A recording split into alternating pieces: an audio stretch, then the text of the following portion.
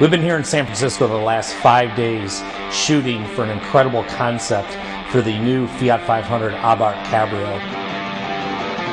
Welcome to the Fiat Body Paint Photo Shoot.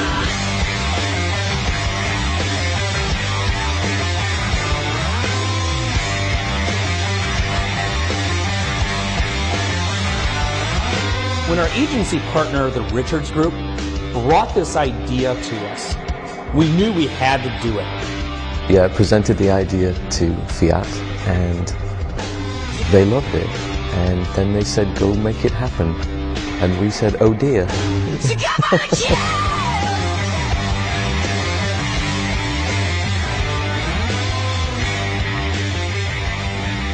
when it came down to selecting the photographer and the body paint artist, it came down to the simple fact that they said, we get it, we can do it. But when I first heard about it, it was like, that's a great idea. We got to do this. The, the, the, thing that's really exciting about this shoot is the challenge of getting it together, the challenge of making it work. I, I think it's one of those ads that's going to be a double, triple, quadruple take. They're going to look at it three or four times and go back to it and show people. Initially, the concept for this project uh, blew my mind a bit.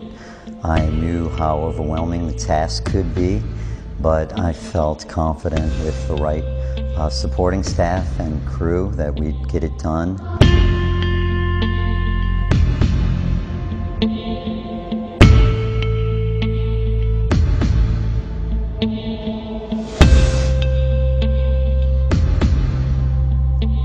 The process involved in this was many days of preparation, pre-organizing the poses, uh, mapping everything that would eventually come to be real, and then working really long days to make them happen.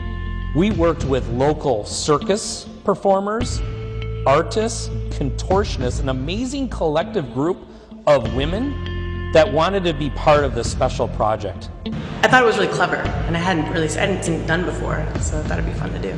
I can't say that I've ever seen an ad like this. totally unique. I thought, hell yes, I'd like to be in that shoot.